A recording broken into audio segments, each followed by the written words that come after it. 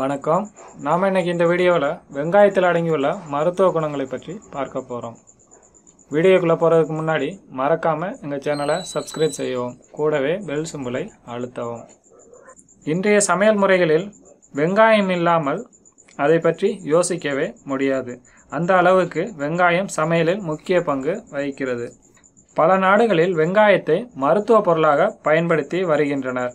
நமது முன்னோர்களும் சித்த வைத்தியத்தில் வெங்காயத்தை பயன்படுத்தி வந்துள்ளனர்.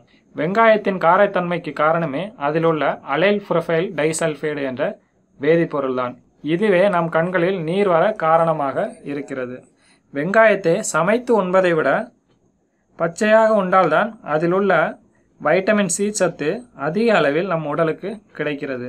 வெங்காயத்தை உணவில் சேர்த்துக்கொள்வதன் மூலம் உணவு எளிதில் ஜீரணமாவதுடன் உடலில் உள்ள தேவையற்ற கொழுப்புகளை கரைத்து உடல் எடை குறைய உதவுகிறது.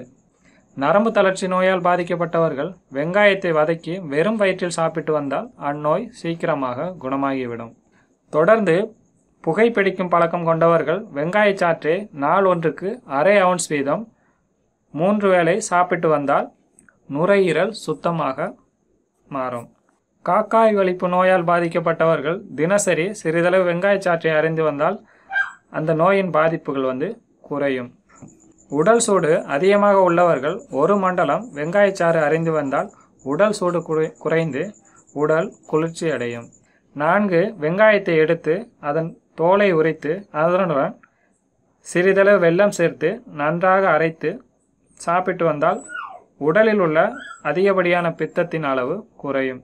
இரத்த கொதிப்பு நோய் உள்ளவர்கள் சின்ன வெங்காயத்தை சிறிதாக நறுக்கி அதனுடன் நல்லெண்ணெய் சேர்த்து வதக்கி தொடர்ந்து சாப்பிட்டு வந்தால் அந்நோய் சரியாகிவிடும்.